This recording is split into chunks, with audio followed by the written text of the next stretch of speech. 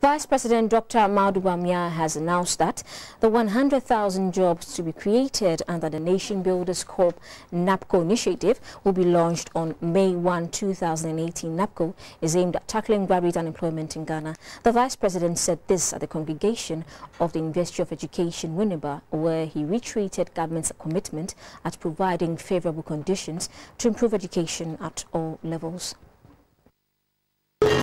A total of 7,667 graduates received certificates, diplomas, first and second degrees, and postgraduate awards at the university's congregation.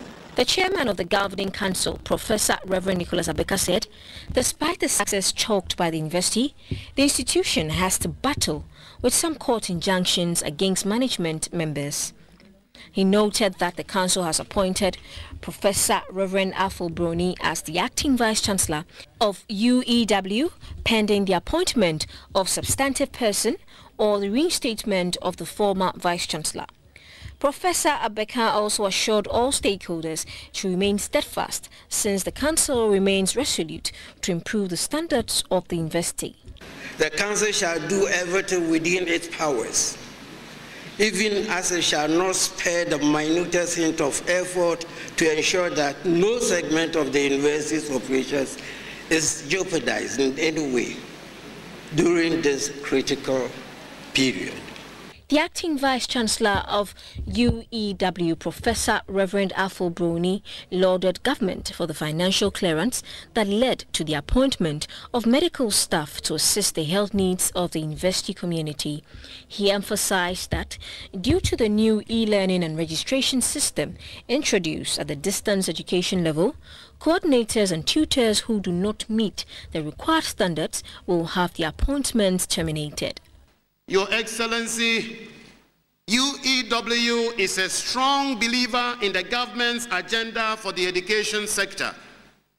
As one practical sign and for starters, we have put in place concrete plans to build, in addition to our ongoing projects, four sets of 500 capacity lecture pavilions at our Winneba campus two at the north and two at the south campuses.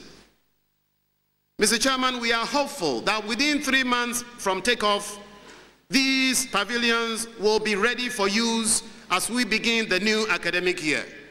The Vice President, Dr. Mahamudu Bawumia, also reiterated government's quest to invest in education of people regardless of their financial constraints. He noted that to solve the unemployment situation in the country, the President will on the 1st of May launch seven modules to be operated under the Nation Builders Corps, NABCO, which will provide job opportunities for the unemployed youth.